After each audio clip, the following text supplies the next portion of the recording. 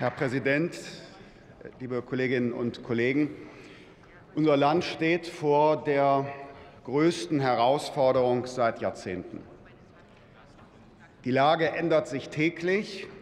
Heute ist sie anders als in der vergangenen Woche anlässlich der Regierungserklärung. Die Ausbreitung erfolgt schneller als erwartet.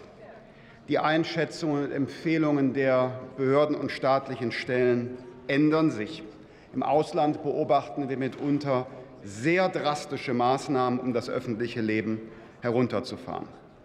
Wir wollen allen den Rücken stärken, die gegenwärtig Verantwortung für das Krisenmanagement tragen. Der gestrige Der gestrige gemeinsame Auftritt der Bundeskanzlerin mit Ministerpräsidenten anlässlich der MPK hat allerdings noch nicht letzte Klarheit geschaffen. Wir stehen vor einer Wahl. Entweder wir zögern, dann ist die weitere Ausbreitung des Virus nicht einzudämmen, und es ist eine Chaotisierung des Gesundheitswesens und des öffentlichen Lebens nicht ausgeschlossen. Oder wir handeln entschlossen, fahren das öffentliche Leben kontrolliert und drastisch zurück, schließen Schulen zum Beispiel und bauen zugleich die Kapazitäten im Gesundheitswesen auf. Dann besteht die Wahrscheinlichkeit, dass wir die Ausbreitung des Virus stoppen und nur eine kurze Phase der Unterbrechung des öffentlichen und wirtschaftlichen Lebens haben. Wir empfehlen den Regierungen in Bund und Ländern in dieser Frage mehr Entschlossenheit und sind bereit, dafür auch politische Mitverantwortung zu übernehmen. So oder so werden die wirtschaftlichen Folgen dramatisch sein. Die Große Koalition hat am vergangenen Wochenende ja Maßnahmen beschlossen. Eine davon war die eben hier richtigerweise beschlossene Veränderung beim Kurzarbeitergeld. Die anderen Maßnahmen indessen konnten noch nicht überzeugen, weil sie der Phase, in der wir gegenwärtig sind, und der Dimension der Krise nicht entsprechen. Ich nenne etwa beispielsweise die an sich völlig richtige Veränderung bei den Abschreibungen für Wirtschaftsgüter, die aber in der jetzigen akuten Phase keine Wirkung entfalten kann. Am vergangenen Mittwoch haben deshalb führende Wirtschaftsexperten ja ebenfalls Vorschläge unterbreitet, die in Dringlichkeit und Dimension deutlich über das hinausgehen, was die Große Koalition bislang angekündigt hat. Jetzt ist ein entschlossenes Handeln nötig, um einen Wirtschaftsabsturz zu verhindern. Ein solches entschlossenes Handeln würden wir unterstützen. Wir erwarten es aber auch von der Bundesregierung.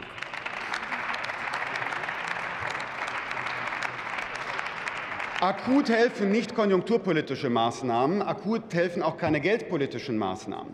Viele der betroffenen Betriebe haben Probleme mit der Zahlungsfähigkeit.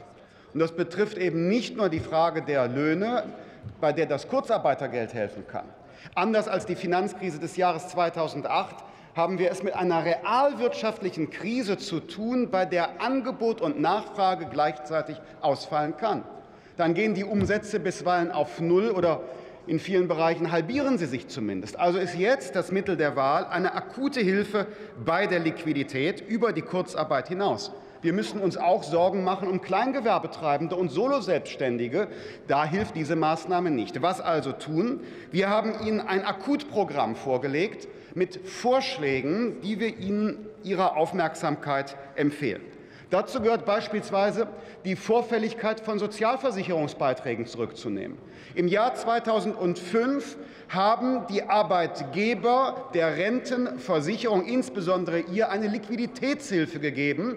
Jetzt haben die Vorzeichen sich umgekehrt. Jetzt wäre es sinnvoll, aus den Sozialversicherungen heraus die Liquidität der Betriebe zu schonen. Jetzt gerade Jetzt gerade sind die Steuervorauszahlungen eingezogen worden auf der Basis von Steuerbescheiden des Jahres 2017, einem Boomjahr. Ganz offensichtlich wird das Jahr 2020 sich wirtschaftlich ganz anders darstellen. Deshalb wäre es richtig, jetzt zinsfrei Steuerzahlungen, Vorauszahlungen insbesondere zu Stunden, um in der ganzen Breite die Wirtschaft vom kleinen Selbstständigen bis zur Industrie in der Liquiditätssicherung zu unterstützen.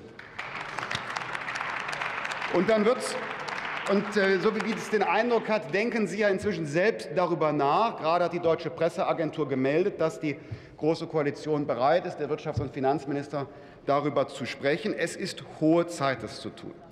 In späteren Phasen wird es um die Rolle gehen unserer Förderbanken, etwa bei der Absicherung von Restrukturierungskrediten und Bürgschaften.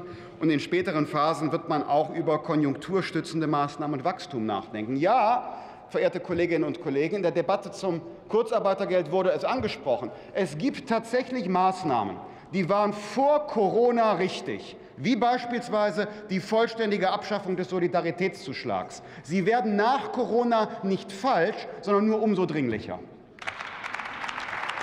Und um Ihnen, und um Ihnen aber zu verdeutlichen, wie wir die Lage einschätzen. Es geht nicht darum, dass man immer nur das sagt, wovon man vorher überzeugt war. Es gibt auch Modifikationen. Und ich nenne Ihnen ein Beispiel.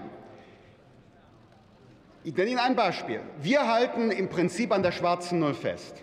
Für uns ist das eine Frage der Generationengerechtigkeit, dass der öffentliche Haushalt auf neue Schulden verzichtet, um Konsum, um Wahlgeschenke, um Subventionen nicht auf Pump zu finanzieren.